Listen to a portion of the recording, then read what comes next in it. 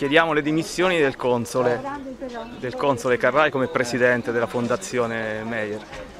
Pensiamo che sia una carica inopportuna per un console che rappresenta uno Stato terrorista che in questo momento si sta rendendo colpevole di un genocidio. C'è un processo in corso alla Corte internazionale. Non mi sta bene, mi dispiace.